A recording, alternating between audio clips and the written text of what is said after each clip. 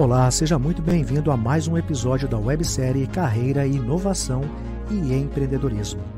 Para você que pretende entrar no mercado de trabalho ou conquistar aquela tão sonhada promoção na empresa em que atua, ou para você empreendedor, empresário que busca alternativas para fazer o seu negócio ser lucrativo novamente, fique atento a todos os episódios. Já curta, compartilhe e já deixe nos comentários abaixo quais as suas dores, quais os seus desafios para que possamos trazer conteúdo de primeira, de forma prática e objetiva para você utilizar na sua vida pessoal e profissional. Ao longo dos últimos 12 meses, foram mais de 380 mil visualizações do nosso conteúdo, com mais de 25 mil horas de conteúdo consumido. Dentre os convidados, temos colaboradores do Google, do Facebook, Nubank, Ambev, Amazon, Microsoft Brasil, Salesforce, LocalWeb, Special Dog Company, Engegon, Dotbank, Guia-se, ou seja, muitas empresas que vêm transformando as áreas em que atuam.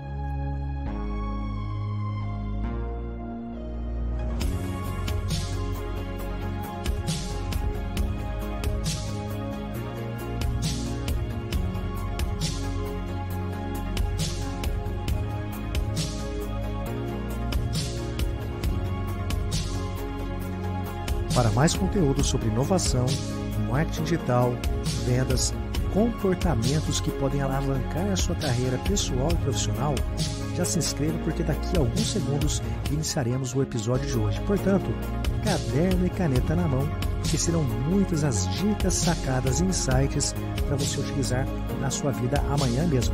Fique atento, daqui a alguns segundos estaremos iniciando.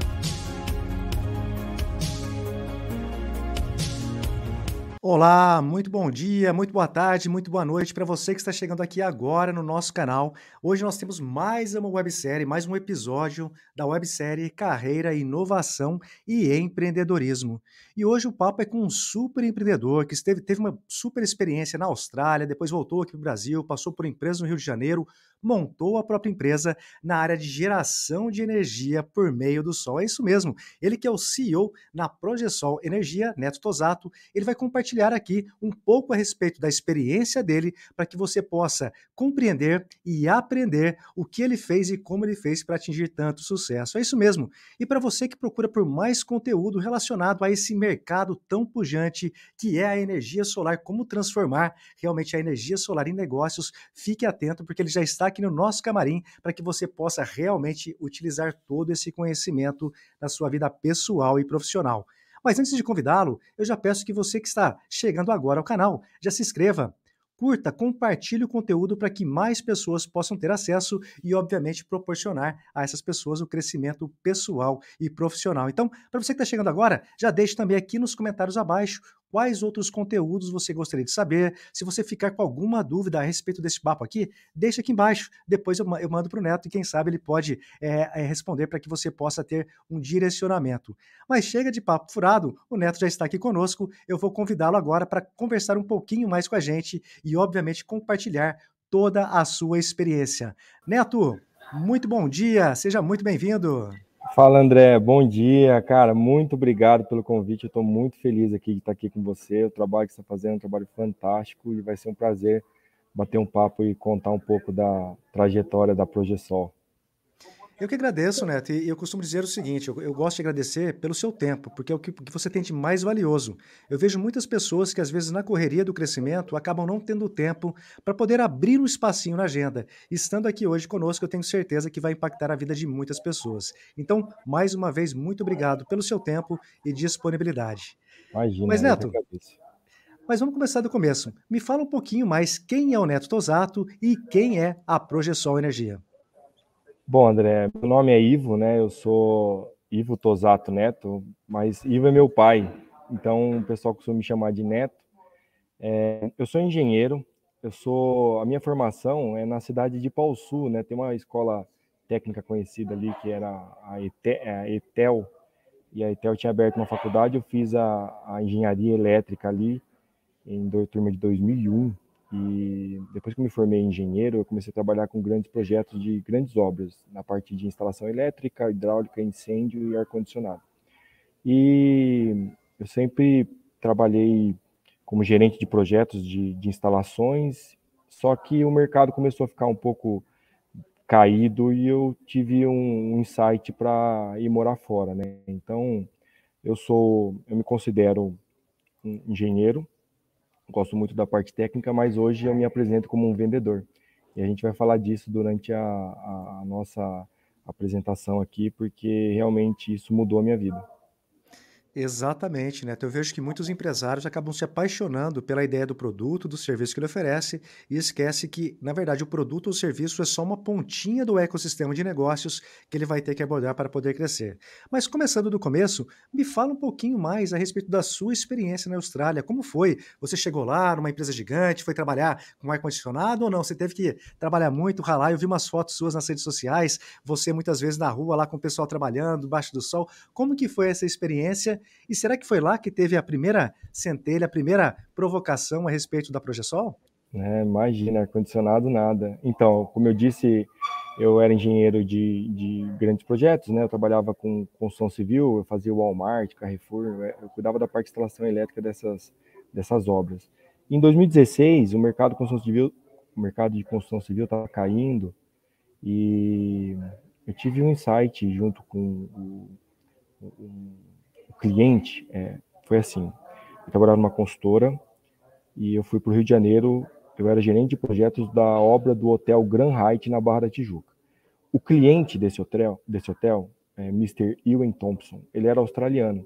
E ele viu que o mercado de construção civil no Brasil estava caindo e o meu patrão chegava para mim e falava: Neto, se a gente não pegar outra obra, infelizmente a gente vai ter que, dispen que te dispensar, né? A situação não estava boa para todo mundo, na verdade. E o cliente falou para mim assim: Ô Neto, por que, que você não vai para a Austrália? Eu falei: Fazer o que na Austrália, Mr. Ewing? Vai para a Austrália oxigenar a tua cabeça. Eu era solteiro, é, não tinha um passarinho para dar água, igual ele falou, é, não tinha nada que me prendia no Brasil. Eu peguei e fui para a Austrália. Só que eu fui para a Austrália com o objetivo de aprender inglês. Eu ainda não era fluente em inglês e eu fui para ter uma vida de estudante. Até então, eu era engenheiro, nunca tinha trabalhado com vendas, já tive uma experiência de ter aberto uma empresa no Brasil em 2012 e eu quebrei, então já era um pouco traumatizado com o empreendedorismo e eu precisava dar realmente uma oxigenada na minha cabeça. E eu fui para a Austrália para ser estudante de inglês num curso de intercâmbio, nesses cursos que você compra de seis meses de intercâmbio e um mês de férias. E foi assim que eu comecei. Como eu não tinha dinheiro guardado, eu tinha que trabalhar. E a gente chama de pessoal que, que vai morar fora, sabe o que eu estou falando, a gente chama de subemprego. A gente vai lá para trabalhar de, de lavador de prato, de entregador de comida, de, de vários, vários entregador de, de qualquer coisa, vários subempregos. E eu, por ter experiência na construção civil, decidi ir para a área da construção civil e eu divulguei meu currículo como ajudante de pedreiro. E foi isso que eu fiz. É, logo na primeira semana que eu cheguei lá, eu já fui trabalhar como ajudante pedreiro, baldear concreto lá. E aí começaram os brasileiros, na, na quando os, os, brasileiros que moram fora, eles se ajudam muito. Então a gente acaba tendo contato em grupos né, de Facebook, WhatsApp, e, e a gente se mostra disponível, as pessoas vão oferecendo. Então, um dia eu entregava comida, outro dia eu lavava prato, outro dia eu era ajudante pedreiro, outro dia eu era jardineiro, Outro dia eu era montador de palco, montei o palco do The Killers na final do, do Australian Football League lá. Então, Caracas, então, meu. É, então, é, a gente tinha, eu, como eu tinha muita é, facilidade com ferramenta e conhecimento na parte de construção civil, eu, eu, eu óbvio, no meu currículo eu dei uma, uma melhorada nele ali, falando que eu tinha experiência, mas eu nunca tinha pego na ferramenta, mas eu sabia como fazia, eu já tinha essa, essa facilidade. E eu comecei a trabalhar como servente de pedreiro e eu me adaptei muito bem numa empresa que fazia calçadas. Então eu chegava às sete da manhã no local, no ponto lá da, da, da obra, e o meu patrão chegava com um tratorzinho, aquele, aquela Bobcat, aquele tratorzinho pequenininho, ele chegava, tirava o concreto da calçada velha, jogava em cima do caminhão e eu com uma marreta de 6 quilos tinha que quebrar no tempo dele voltar e pegar o outro concreto já. Então era bem Caracas. corrido ali. E eu estava com 32 anos na época, André, e a gente pensa, pô, 32 anos, você nunca imagina que você vai trabalhar braçal novamente, né? É, a gente é estudante, a gente é, eu sou engenheiro, Eu nunca tinha trabalhado braçal na minha vida, só quando eu era estagiário ali, que eu comecei como ajudante de eletricista, mas você acaba, você acaba tendo que combater também com, com o seu ego, né? Pô, vou voltar a ser. Exatamente. Né? E tudo isso foi um, é, é um trabalho, é, um dia a dia que você tem que ir trabalhando a sua mente ali para você não ficar frustrado. Mas enfim, eu estava lá para isso e comecei a trabalhar como, como, quebrando concreto e eu fui me desenvolvendo ali. E foi ali, André, na, na, na obra de calçada nos bairros de Melbourne, na Austrália, que eu vi que toda a casa tinha energia solar. Isso em 2000 e? 2006, 2016. 16, 2016, sim, perfeito. 2016. Ano de 2016. Eu vi que toda a casa tinha energia solar. Nós estamos em 2021. Então, em 2016, eu era ajudante de eletricista, é, é, ajudante de pedreiro na Austrália, quebrando concreto sem um real ou nenhum dólar no bolso. Sim. E, e eu via que toda a casa tinha energia solar. Eu comecei a questionar o meu patrão, ele falava: Ó, oh, aqui toda casa tem, na minha casa tem. E eu comecei a pesquisar mais sobre isso. E eu comecei a, a buscar no Brasil cursos online sobre o assunto. E eu vi que no Brasil o mercado era muito novo a, a regulamentação ela começou em 2012 e ela teve uma alteração em 2015, ou seja, eu estava em 2016 e em 2015 teve a última regulamentação da, da norma, a normativa de energia solar no Brasil. E eu comecei a pesquisar, fiquei muito interessado nisso, fui fazer um curso disso na Austrália. Então fui na Melbourne Polytechnic, fiz um curso de instalador lá mesmo para ver como é que funcionava. É, e eu comprei um curso online no Brasil e fiz também esse curso online para conhecer mais a, das normativas, eu vi que o mercado era um mercado em potencial, é, tinha um potencial enorme, porque no Brasil, o nosso pior caso de sol, que a gente chama de que é o solstício de inverno, Sim. é melhor do que o melhor dia de sol na Alemanha.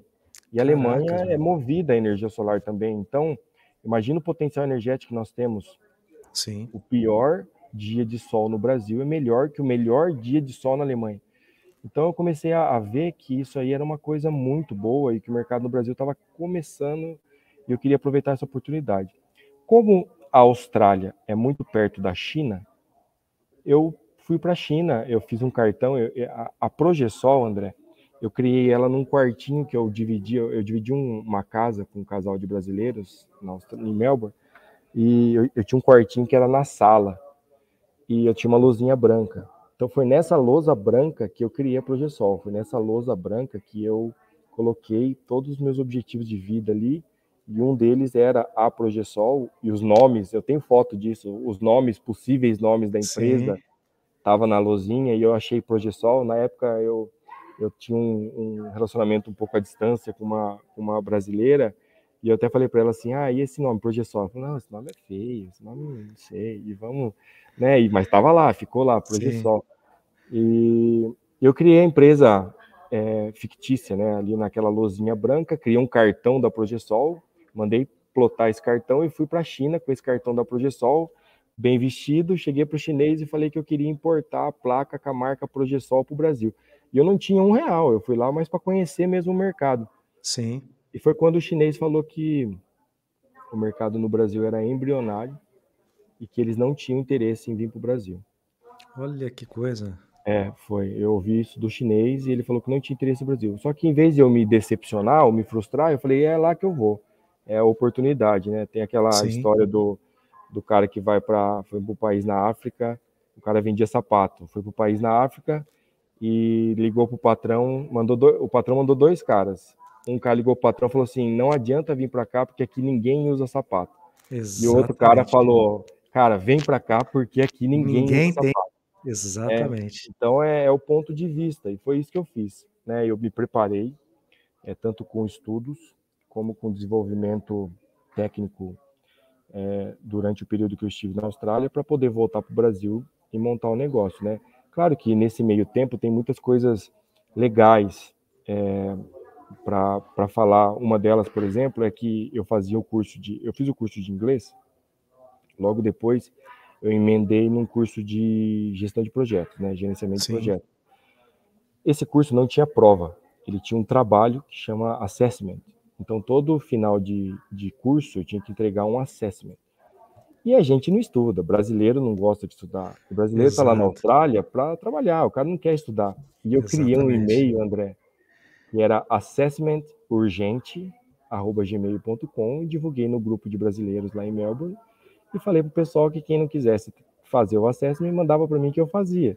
Uhum. E eu fazia curso de gestão de projetos, mas tinha gente que fazia marketing, tinha gente que fazia finanças, tinha gente que fazia é, gerenciamento é, estratégico de negócios, e eu comecei a pegar os trabalhos dessas pessoas para fazer.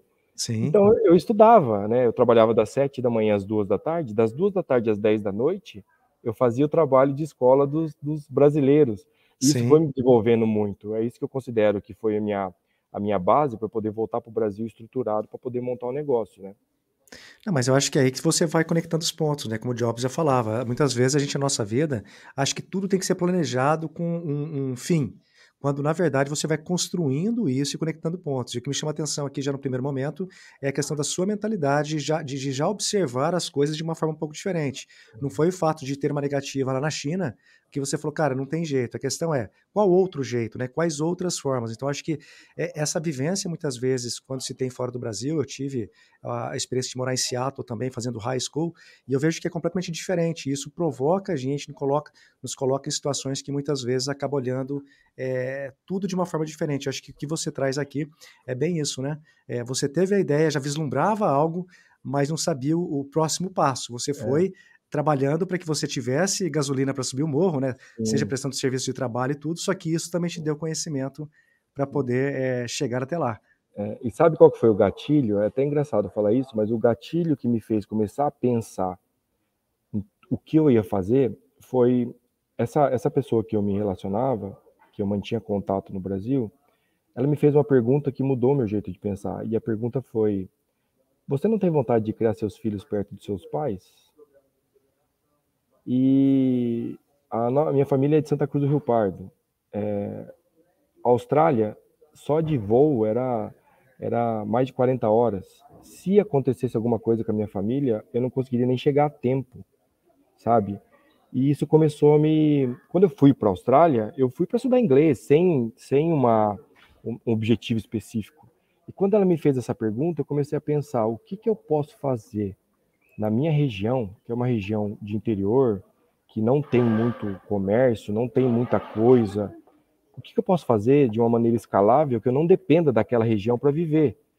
E isso foi minha, isso, essa pergunta me abriu a cabeça, me abriu o radar para eu buscar alguma coisa que eu pudesse fazer nessa nossa nessa minha região, né? E aí que veio o insight de energia solar. Foi uma pergunta de eu querer ficar perto da minha família e que eu não dependesse da região que eu esteja para ficar perto da família, entendeu? Então, isso foi um insight, a, o gatilho que me fez começar a pensar em alguma coisa escalável. Então, mas aí que você também já coloca outro ponto. Ó, o gatilho que foi, na verdade, você olhar por algo escalável. É difícil você ver um empresário no Brasil pensando em algo escalável, é, vendo mais ou menos as características de uma região, você conseguiu identificar uma oportunidade por meio de uma reflexão, de uma provocação dessa sua conhecida, é, do seu relacionamento anterior, não sei se é anterior ou não, e dentro uhum. disso, você, puxa vida, falou, peraí, então como que eu posso idealizar um negócio que seja escalável e ter essa projeção e ter essa, esse crescimento? Mas dentro disso, Neto, você voltou para o Brasil, e aí você foi, acho que teve uma passagem pelo Rio de Janeiro, se eu não me engano, ou já foi direto para projeção? De ir, né? O Rio de Janeiro foi eu antes de ir para a Austrália. Então eu estava no Rio de Janeiro, do Perfeito. Rio de Janeiro eu fui para a Austrália. E aí, aí você já voltou? Voltei home office. Home Perfeito. Office, na casa da, da, minha mãe, em fartura. E eu voltei, é, pisei no Brasil em janeiro de 2018 não tinha empresa aberta ainda, só tinha a, a ideia da Progesol, né? Ela estava ainda no meu, na minha lousa sim, na Austrália. Sim. Cheguei no Brasil, registrei a marca, abri a empresa e eu fui fazer todos os cursos que tinham do setor de energia fotovoltaica disponíveis no Brasil. Então, eu fiz curso de extensão na Unicamp, fiz curso em Ribeirão Preto, fiz cursos online. Eu me dediquei a conhecer o negócio mesmo, especificamente, porque na Austrália a legislação é um pouco diferente, Sim. o jeito de falar é diferente, então eu me, eu me capacitei no Brasil. Só que o diferencial, André, é que os empresários não pensam, e foi por isso que eu quebrei em 2012. Em 2012 eu tive uma instaladora. Eu prestava serviço para a construtora que fazia o Walmart Sim. eu não vendia. Então, a, o diferencial que eu falo para o empresário hoje é o cara focar em vendas. Por quê? Sim. Porque uma empresa com dinheiro, ela vai longe. Agora, uma empresa que tem processos, mas não tem dinheiro, ela quebra, sabe? Sim. O cara acaba quebrando de pé. Então, o que, que eu fiz? Quando eu vou, vim para o Brasil, além de eu me capacitar tecnicamente, eu foquei em vendas. Né? Então, eu montei o escritório home office, comecei sozinho, o eu empreendedor. Comecei a vender, comecei a trabalhar, comecei a prospectar cliente, ligação, vai, vai. Fiz a primeira venda, a primeira venda me surgiu a segunda, surgiu a terceira, e eu comecei a, a, a empresa começou a crescer ali naquele home office. Sim. Até que eu conhe... até que eu tinha um amigo que estudou comigo na faculdade e eu comecei, eu tava comecei a ficar um pouco é, frustrado porque o negócio é muito devagar, a gente tem que ter muita resiliência ali no começo do negócio. E ele falou assim, é, é, Neto, uma coisa que mudou, ele tem uma empresa também é, por coincidência, hoje a empresa dele é de energia solar também, mas na época não era. Ele, ele fazia instalações elétricas em geral. Ele falou, Neto, o que mudou a minha empresa foi eu ter alugado um ponto. Né? E foi o que eu fiz. Eu aluguei um ponto na cidade de Taquarituba e eu comecei a. contratei um vendedor e a gente começou a escalar daí no sentido de é, ter mais pessoas para vender junto comigo. Sim, né? sim. E aí o negócio começou a, a deslanchar, devagar, mas começou a deslanchar. Né? Porque no começo também, André, em 2018, ninguém sabia o que era energia solar. Eu Exatamente. tinha que explicar para o cliente, primeiro, o que era energia solar, o que é a energia fotovoltaica, como ela funciona, o que, que as placas fazem tal. Hoje não. Hoje todo mundo Sim. já sabe o que é. Hoje é muito mais fácil a, a, a, venda, né? Mas antigamente era muito mais complicado. Então eu dediquei nisso, me dediquei a, a abrir um escritório físico e a focar em vendas. Sim. E dentro disso, eu vou fazer uma pergunta até um pouco capciosa, talvez, porque perguntar para você se funciona ou não funciona, obviamente que eu, que até já imagino a resposta. Mas o que eu quero dizer aqui, porque o pessoal do YouTube vejo que tem muita pesquisa e, e às vezes nem sempre tem gente capacitada respondendo, que é a questão. Mas é, é, realmente existe um barateamento muito grande para quem coloca, tem um tempo de retorno. Ah, em, em, linhas gerais, realmente vale a pena, seja para uma residência ou para uma empresa é, de um tamanho X colocar, tem um perfil mais particular, o cara que gasta a partir de tanto, só para o pessoal que está aqui na nossa audiência, depois vai ter os cortes também, para compreender um pouquinho mais desse mercado e quais realmente são os diferenciais da Progesol em relação a outras empresas que atuam no mesmo setor.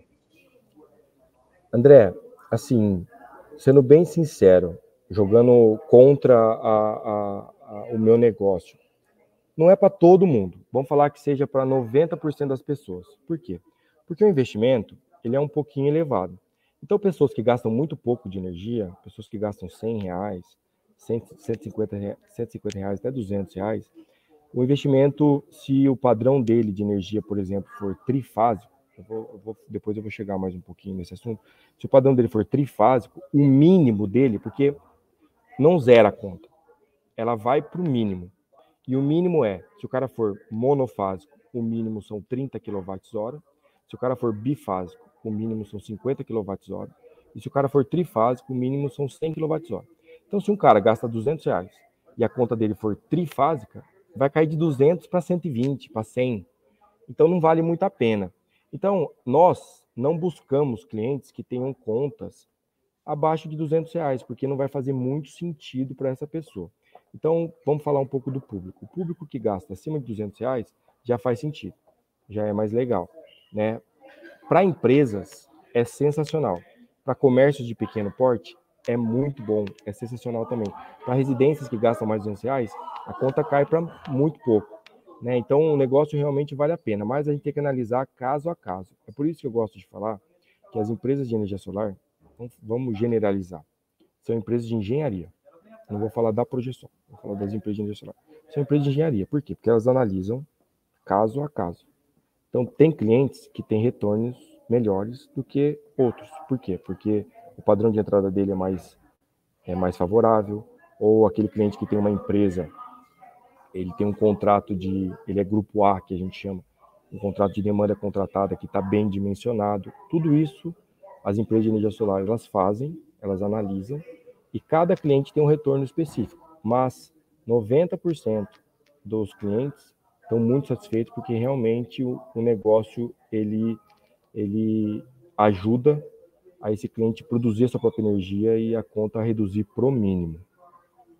Sim. Né? E até trazendo um ponto de vista aqui agora de cliente, para quem não sabe, que isso aqui não é jabá, ele não está pagando, aqui é, é, realmente é um bate-papo não patrocinado, mas eu acabei contratando a Progesol e, e, e, um dos fatores que me levou a fechar com eles, pagando até mais caro, não sei se sabia disso, mas eu paguei mais caro para vocês é, do que em outras empresas.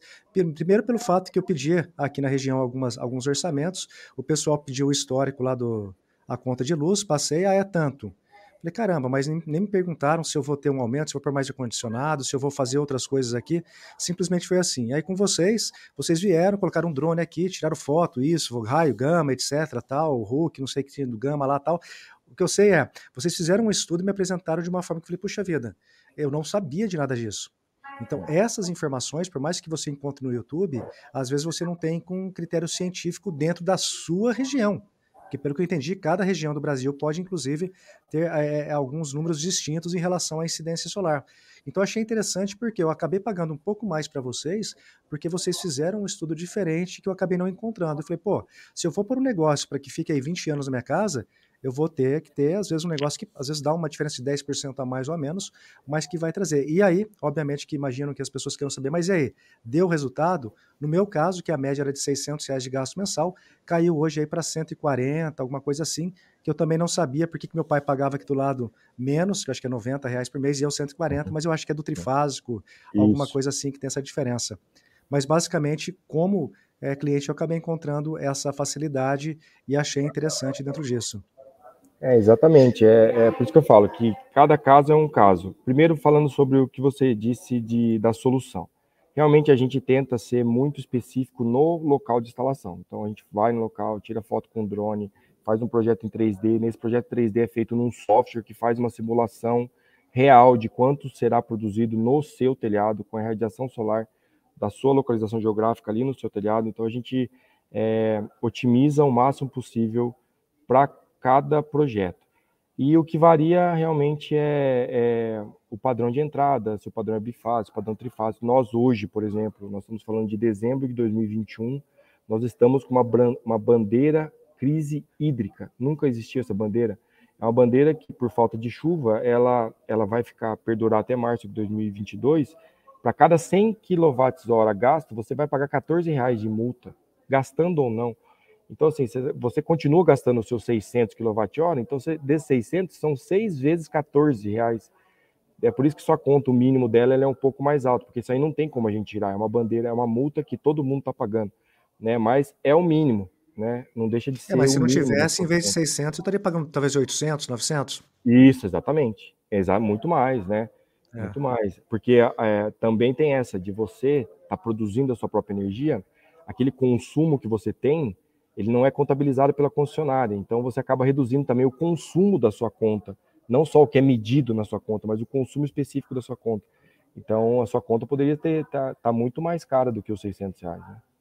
Perfeito. Mas, Neto, falar de uma casa pequena igual a minha é uma coisa. E eu vi nas redes sociais vocês, alguns dos trabalhos que vocês desenvolveram.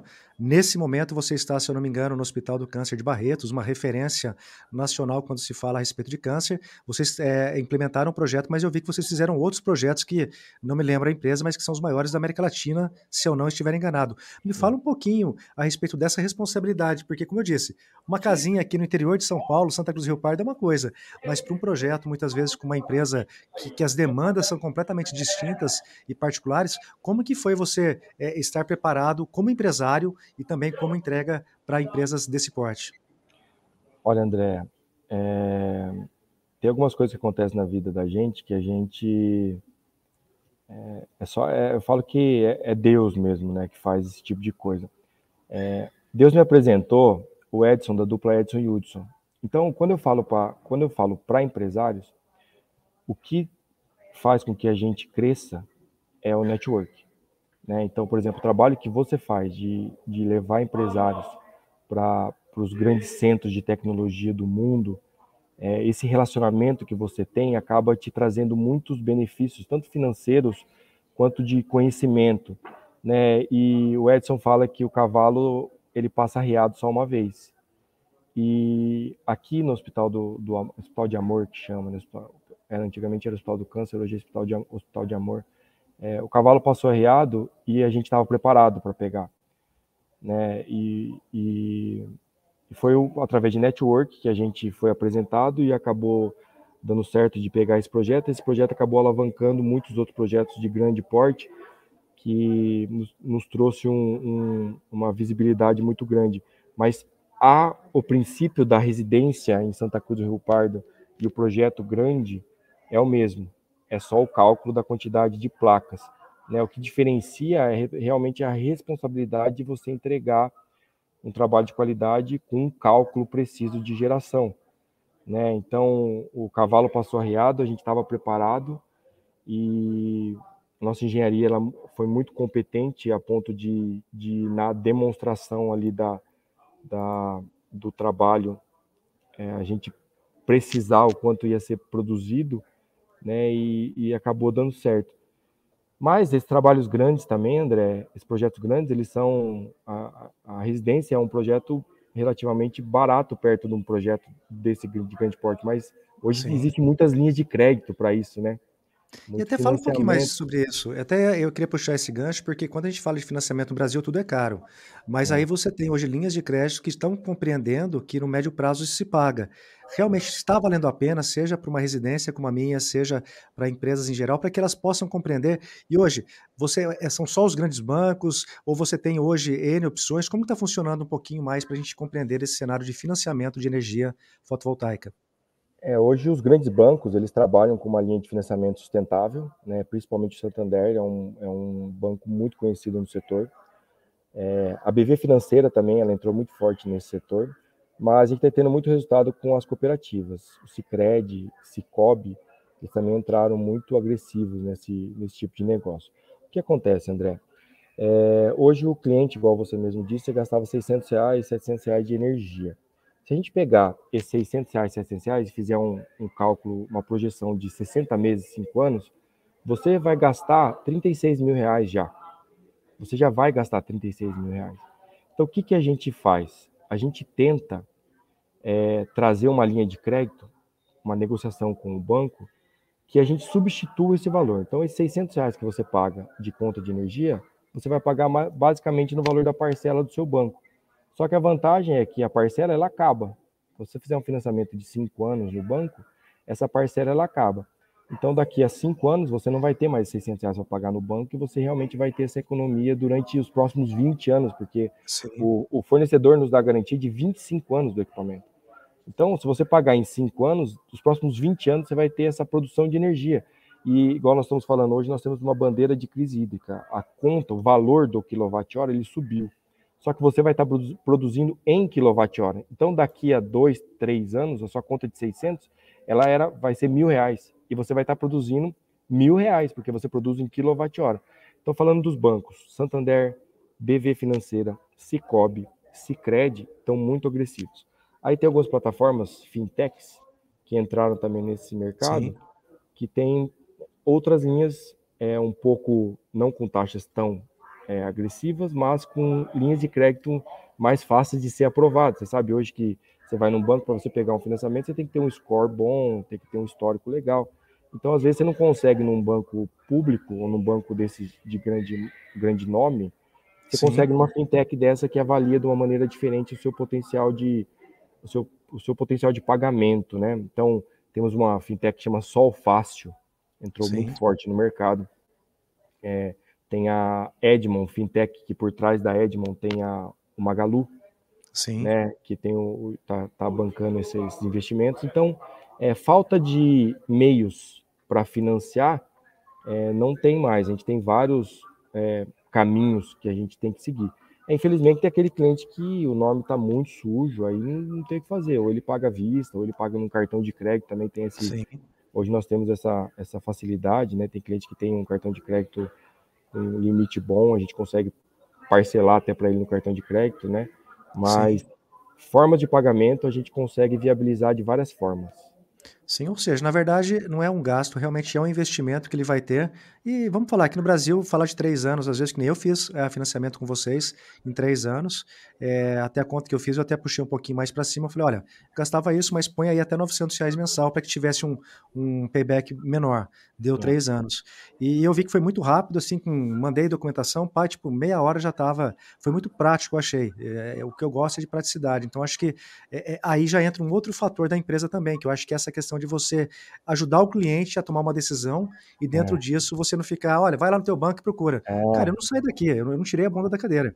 É. Então, isso é aquela história que às vezes o empresário não compreende. Não é só ter um preço melhor ou ter uma qualidade técnica melhor. Eu acho que é, é você ter a pré-venda, que é o pré-comercial. Viabilizar, né? E, e, pegar na mão do cara. Porque, cara, eu não entendo nada, eu não entendo de financiamento, eu não entendo. O negócio é quanto é, quanto eu vou gastar mensal e quanto tempo para colocar ali. É, essas foram as principais é, dúvidas que eu tinha na hora de colocar. É, eu costumo falar para o nosso time comercial, André, que a venda de energia solar é uma venda financeira. Né? Então, assim, a gente, na demonstração, a gente passa toda a credibilidade do nosso trabalho, só que o que vai fazer aquele cliente fechar com você é a viabilidade do negócio. Então, como você disse, você levantou a bunda da cadeira, nós fizemos tudo para você. Né? É, é, a gente viabilizou o projeto para você, a gente aprovou o financiamento para você, a gente mandou a documentação para você assinar, a gente fez todo o trâmite que precisava para poder viabilizar esse negócio. Então, isso serve para outros tipos de negócio também. Aquele, aquele empresário que quer vender, ele tem que solucionar o problema daquele cliente. E solucionar não é você passar o problema para o cliente e falar, ó, oh, cara, eu faço isso, daqui para frente você faz, depois você devolve para mim. A gente Sim. tem que fazer, quanto mais você se disponibilizar para fazer tudo para o seu cliente, mais chance você tem de fechar aquele negócio. Ex exatamente. E até virando um pouco o gancho agora, a gente só soltou uma pílula no começo aqui do bate-papo, que é a questão de vendas, gatilhos mentais. É, Neto, o quanto que você considera hoje que o empresário ele tem que se desenvolver também, ou ter um sócio, ele tem que ter alguém é, que possa olhar para essa questão de vendas, atendimento. Eu vi que você estava falando é, a respeito de, de persuasão, falou até demonstrando um livro lá do Robert Cialdini, eu tive oportunidade de assistir uma palestra dele em São Paulo, é, já conhecia o livro, já, já conhecia a questão da reciprocidade. O quanto você acha que é determinante para um empresário crescer? Porque senão é aquela história, ele fica só focado. Não, eu vou melhorar o produto, vou melhorar isso e aquilo, só que ele não compreende que se não tiver vendas, os boletos não são pagos no fim do mês, você não consegue prosperar. Me fala um pouquinho mais, porque eu vi que você tem muita propriedade sobre esse assunto.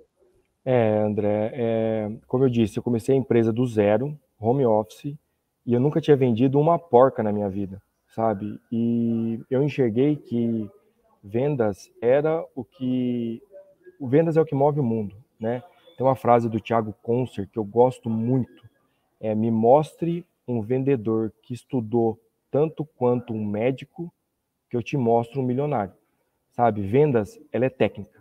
Vendas ela é são gatilhos, vendas são são é, ferramentas. Tem, tem, é, eu sou apaixonado por vendas porque realmente vendas mudou minha vida. E quando a gente fala de persuasão, né, armas da persuasão, é, foi um livro que mudou o meu jeito de pensar, porque é, o poder da, do convencimento, de você passar a transparência, isso faz com que o seu cliente ele realmente queira é, fechar com você. Então, quando você me pergunta o quão isso é importante, eu falo que 100%, sabe? É, é, você que tem é dono de uma empresa, você tem que se dedicar a vendas. Ah, Neto, mas eu não sou vendedor, eu não gosto. Então você tem que ter alguém na sua empresa que venda.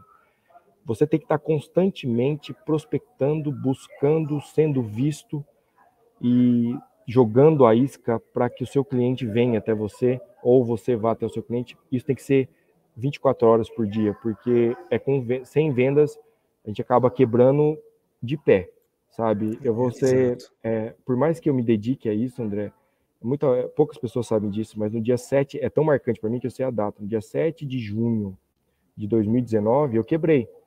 O que, que é quebrar? Quebrar não é você fechar a empresa. Quebrar é você não ter fluxo de caixa para pagar a conta, tendo dinheiro para receber, sabe? Então, é, você ver como vendas é importante. É, é, e não só vendas, né? Todo o Sim. processo financeiro, mas é, é, no dia 7 de junho eu tinha salário para pagar, 7 de junho é o quinto dia útil, foi o quinto dia útil. Eu tinha salário para pagar e eu tinha dinheiro para entrar no dia 10.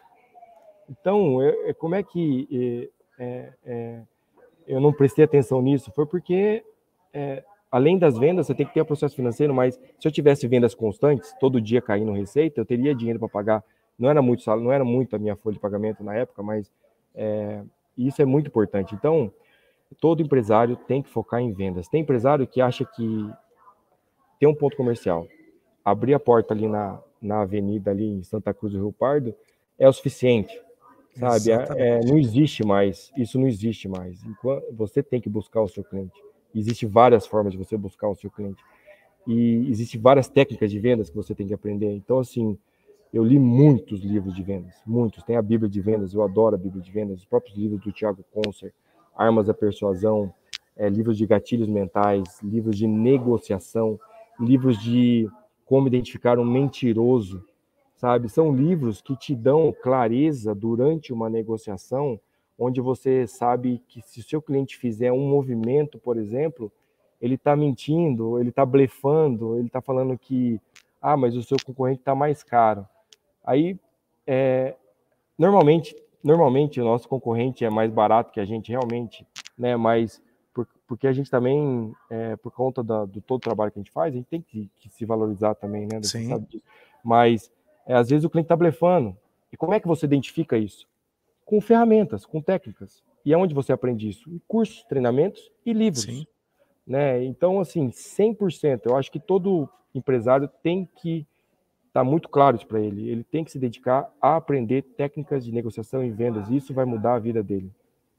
Exatamente. Eu só acrescentaria, a pergunta foi sobre vendas, você respondeu muito bem, mas eu acrescentaria o ponto que você colocou alguns minutos atrás, que é a questão do networking. Eu acho que quando você compreende a importância do networking, porque só se relacionar, só trocar cartão de visita não vai mudar nada. Aí entra as técnicas de vendas, persuasão, é, posicionamento estratégico, por aí vai. Então acho que é, esse tripé acaba realmente estabelecendo uma é, situação mais confortável para que a empresa possa crescer. Não que seja fácil, porque não, não é. Um exemplo disso, André, é, eu gosto muito de treinar. E eu me mudei recentemente para uma cidade nova, que chama Indaiatuba, né? Quer dizer, nova para mim. Eu, eu mudei sem conhecer ninguém em Indaiatuba. E por conta dessa minha mudança, eu pensei, o que, que eu posso fazer para aumentar o meu network? Eu, eu gosto de treinar academia. Só que em vez Sim. de eu ir para academia, que normalmente academia a gente coloca o fone de ouvido e treina sozinho, Sim. eu fui fazer crossfit.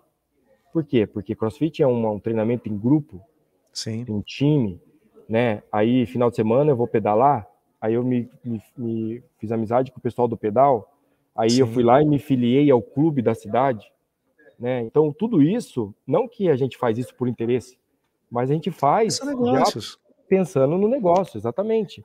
Sabe? Então, assim, ah, Neto, mas eu não tenho dinheiro, porque muita, quando eu falo isso, as pessoas falam, ah, mas eu não tenho dinheiro tô começando agora, não tenho dinheiro para fazer crossfit. Crossfit é um pouco Sim. mais caro do que uma academia.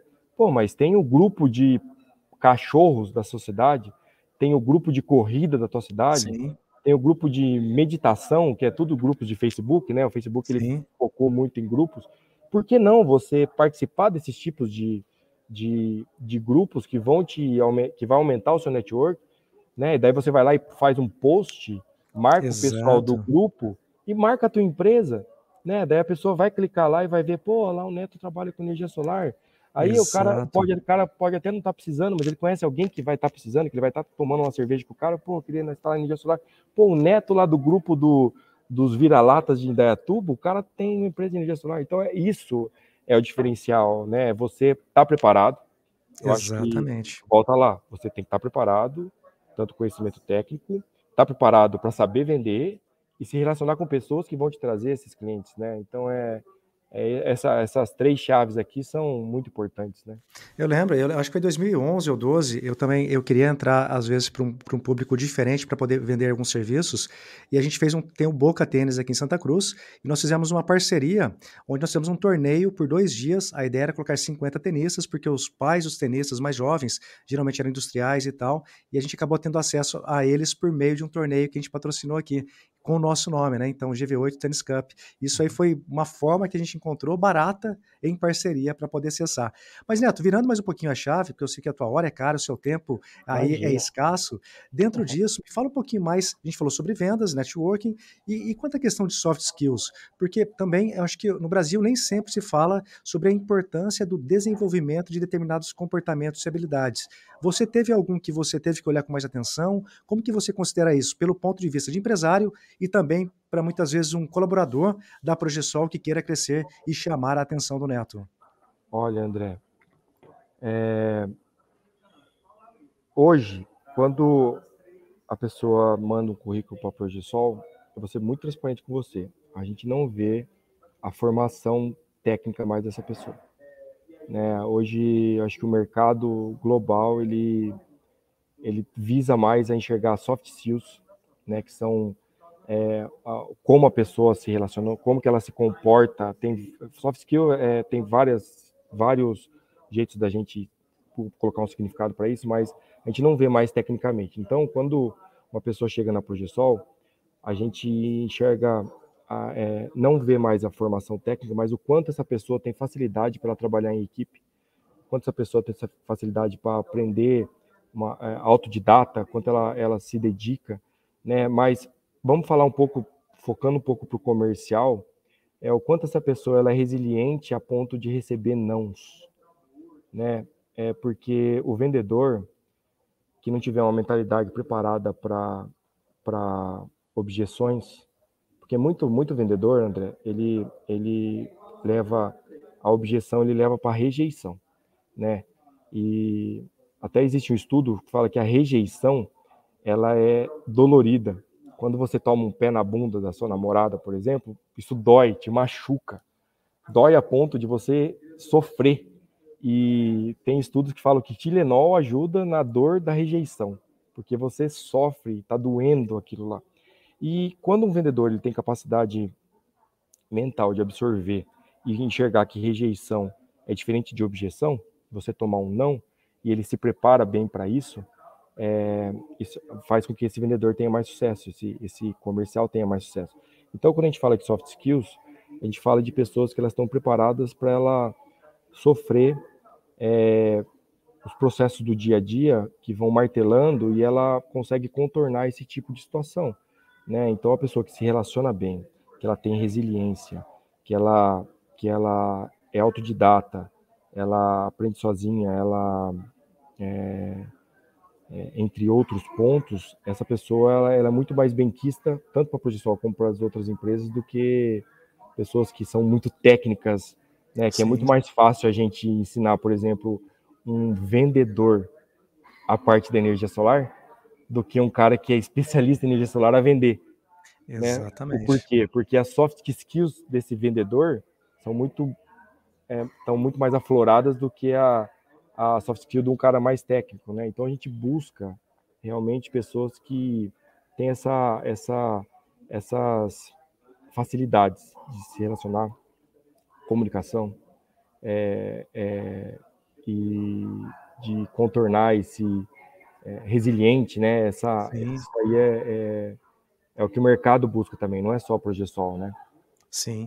E até para a gente fechar aqui, é, Neto, até para a gente é, ir para a parte final, é, me fala um pouquinho mais sobre o funil de vendas. Eu vejo que muitos empresários ainda não compreenderam a importância de você estruturar, estruturar todo o processo da área comercial dentro de um funil. E dentro disso, tem algumas métricas, tem alguns números que você considera super importantes para que não aconteça outro problema do dia 7 de junho de 2019, de 2020 de novo, como você citou o exemplo aqui, que você consiga ter, se antecipar muitas vezes a uma situação é, tendo um funil bem detalhado, em passos. Me fala um pouquinho mais a respeito. É, André, você tocou num ponto muito importante. Os empresários hoje eles não sabem o que é processo comercial. Né? Para começar disso, o que é o processo comercial? É você saber o passo a passo do, da estrutura da sua empresa na parte comercial, financeira. Cada setor da sua empresa tem um processo. Né? Então, assim, a partir do momento que você. O que é um processo comercial, por exemplo? É, ligação, ligação. Como que é feita a ligação? É, vou ligar por telefone fixo ou pelo celular? Vou prospectar pelo WhatsApp ou tráfego pago, né? Que vocês fazem na GV8, é, trazer leads, leads vão vir para você ou você vai atrás do lead. Tudo isso é um processo, é você definir como vai ser feito dessa forma. Então, falando um pouco do, do funil de vendas que faz parte do processo. Na Progesol, a gente tem é, o que toda empresa deveria ter, é um CRM. Né? O que é CRM? É o Customer Relationship Manager. É um gerenciador de relacionamento com o cliente. É uma ferramenta, um site, onde você coloca as etapas do funil. Então, vamos lá. Prospecção, negociação, fechamento e venda. Então, a partir do momento que você é, sabe o quantas ligações você tem que fazer para essas ligações virarem proposta. Então, você é um funil, ó. É, é, vai afunilando assim, ó. Ligação, você vai ligar bastante. Beleza. Dessas 100 ligações que você faz, 80% viram proposta. Dessas 80, dessas 80 propostas, vamos falar que 40 entram para negociação. E dessas 40, 20 vão para fechamento. Ou seja, a cada 100 ligações que você faz, você vai fechar 20. Se você quer fechar 100, você tem que fazer 500 ligações. Então, isso é um funil de vendas. Isso tem que ficar muito claro para o comercial do, do empresário.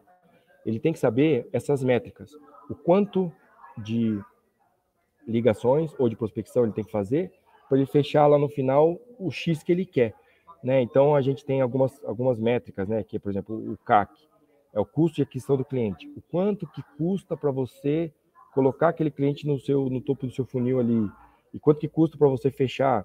Né? O custo de aquisição do cliente, o quanto que é o, o, a taxa de conversão desse cliente é muito importante, que é o que eu falei nesse exemplo que eu dei, que a cada 100 ligações 20 vão para negociação, desses 25 fecha, a gente está falando que a taxa de conversão é 5%. Né? Então, o empresário ele tem que saber o quanto que é a taxa de conversão dele. Às vezes ele tem um negócio, é, um mercado. Quanto de investimento ele tem que fazer para aquele cliente, para ele, por exemplo, o mercado o pessoal fala muito de ticket, né? O quanto que é o ticket que aquele cliente que ele entra no mercado ele gasta? Ah, cada cliente Sim. que entra ele gasta mais ou menos 200 reais que, que ele tem que fazer para ele aumentar o ticket daquele cliente, né? Que valor que ele tem que gerar, o quanto que ele tem que investir, ou seja, quanto que é o custo de aquisição daquele cliente para aquele cliente entrar e gastar aqueles 200 reais. Né? Essas métricas, elas têm que ficar muito claras para o empresário. Claras a ponto, André, de a gente ter uma tela na, na, na projeção, uma TV, onde a gente fica analisando métricas, que a gente chama de Sim. KPIs. Muito empresário não sabe, não tem nem ideia do que é isso. Os Exato. KPIs, eles têm que tá, estar tá muito claros para ele, sabe? Se a forma dele vir, por exemplo, vocês que têm a GV8, vocês sabem da, vocês criam landing pages. Então, Sim. Vocês fazem a landing page, daí você faz o tráfego pago que cai a landing page para aquele cliente potencial. Quantos clientes cadastram naquela landing page que vão virar realmente clientes? Né? Então, essas métricas, né, além das, das, métricas financeiras, né, André, que são Sim. importantíssimas. Acho que o coração da empresa é o financeiro, né, o comercial e o financeiro. É você saber as métricas do seu fluxo de caixa, Sim. a sua taxa de, seu, a sua margem de lucro líquida, o quanto de, de dinheiro você realmente coloca dentro da empresa. São métricas que você tem que estar constantemente olhando para elas e melhorando Sim. elas, né? A Luísa do Magazine Luiza fala que custo é que nem unha, tem que estar sempre cortando. E ela Exato. fala que fluxo de caixa quebra a empresa. Ou seja, se fluxo de caixa, como eu disse que eu quebrei lá dia 7 de, de junho, fluxo de caixa, se fluxo de caixa quebra a empresa, isso é uma métrica que você tem que estar tá olhando ela diariamente. Sim. Né? É, além de outras, mas no, no, comercial, eu acho que a taxa de conversão é muito importante, o custo de aquisição do cliente é muito importante, é, e na parte financeira, fluxo de caixa é muito importante também, e margem de lucro líquida, né? Sim. Bom, resumindo, eu acho que basicamente é, é estabeleça uma meta com um número X para que você. E outra, para saber mais sobre é, funil de vendas, tem aqui no próprio YouTube é, muitos canais que falam mais ou menos como você dar o primeiro passo, mas o importante é começar. E depois você vai evoluindo e melhorando, compreendendo por meio das objeções, compreendendo por meio do cliente, como que você pode performar melhor. Não necessariamente é colocar um milhão de clientes na boca do funil. Às Não. vezes você consegue aumentando gradativamente e melhorando os processos dentro dele. É. Você medindo, você medindo, tudo que é medido pode ser melhorado, né? Se você não mede, se você não sabe é, qual é a sua margem, por exemplo, se você não sabe qual é o perfil de cliente que te dá mais retorno, você não vai conseguir investir. Você às vezes está dando tiro para o lado errado. Às vezes aquele nicho para o teu negócio, ele é tão bom que se você focar só naquilo, você vai ter um retorno financeiro muito melhor. Só que você só vai descobrir se você tiver métrica. Você vai conseguir se você souber que se você investir mil reais naquele cliente, ele te vai trazer 100 mil reais. Se você investir mil reais naquele outro tipo de cliente, ele vai te trazer 50 mil reais. Então, foca naquele que te traz mais. Só que você só vai conseguir ter clareza se você tiver os dados, as métricas é, é, atualizadas e sendo acompanhadas diariamente, né? Só assim que você vai conseguir melhorar a sua performance, melhorar o seu resultado, é medindo, né? Exato, exato. Bom, Neto, está chegando ao final aqui. Eu queria é, até agradecer mais uma vez pelo seu tempo, pela sua disponibilidade, é, prontamente estar aqui compartilhando. A gente poderia falar aqui sobre negócio, acho que vai mais pelo menos aqui, mas até o final de semana. Mas é, eu sei que você é um cara super ocupado e por isso eu agradeço não só pela sua competência, pela sua história de vida e pelo que você vem construindo. Porque no Brasil, muitas vezes, a mídia coloca o holofote para muitos empresários que não têm aquele quilômetro rodado, só fala a parte é, do palco, né? Mas aqui nos bastidores, você compartilhando aqui que, que é possível, tem os desafios, porém, arregaçando as mangas, errando, acertando, corrigindo, a coisa vai acontecendo. Então, é. eu agradeço e deixo para você aqui o espaço para você dar alguma, deixar alguma provocação, alguma dica, sacada, para que as pessoas possam é, sair daqui refletindo. E, obviamente, que eu estou deixando aqui embaixo, no, embaixo aqui na descrição, todos os canais aqui do Neto, da Projeção, para que você possa seguir também. Nossa, André, eu que agradeço. Realmente, se a gente pudesse, tivesse tempo aqui, a gente falaria o dia inteiro sobre isso, que é uma coisa, é, o empreendedorismo ele é apaixonante. Mas uma coisa que fez com que a gente chegasse, hoje a Progesol, ela tem, como eu disse, em 2018, meu CNPJ do dia 1 do 3 de 2018. Eu comecei home office, hoje nós temos 11 lojas. Né? Então, você vê o que, que por que, que aconteceu tudo isso. Primeiro, foco, foco é principal você focar naquilo que você quer para você mesmo e não, não, não, não tem outro jeito. E uma coisa que eu levo para mim é não tenha plano B, sabe? A partir do momento que é, se você tem um plano B, se você falar, ah, se não der certo, eu vou voltar para o meu emprego anterior, ah, se não der certo, eu faço isso. Essa frase, se não der certo, já vai dar errado, sabe? Porque você tem um plano B. Então, a partir do momento que você quebra essa ponte de ter a chance que você é, o negócio vai dar certo, porque você vai focar nisso e você a, a trajetória não é fácil. O pessoal acha que a trajetória para o sucesso ela é reta. Ela não é reta, ela é cheia de curvas. O que você faz é quando você vê que você está desviando, você retoma o caminho. Né? E você só, vai, você só consegue isso não tendo uma segunda opção, não tendo um segundo plano, sabe? É, é focar aonde você quer, no objetivo, e, e foco e resiliência, persistência, que o negócio vai dar certo. Exatamente. Ou seja, basta você ter vontade, se preparar, ter foco, resiliência, trabalhar a questão de vendas e networking. Não que é certeza que dará certo, mas com certeza te ajudará a, encurtar o caminho e ter uma assertividade maior. Neto, obrigado. Espero poder vê-lo, né? Na verdade, não te conheço pessoalmente, mas é. vê-lo em algum momento aqui em Santa Cruz para que você me pague uma geladinha. Teu pai já me pagou uma vez lá em São Sebastião, agora está faltando você pagar uma geladinha para mim. Ai, tá Tá joia. Exato. Obrigado, André. Obrigado pelo abraço, convite. Sucesso. Foi um prazer. Um abraço. Até mais. Valeu. Tchau, tchau. Abraço a todos e até o próximo websérie.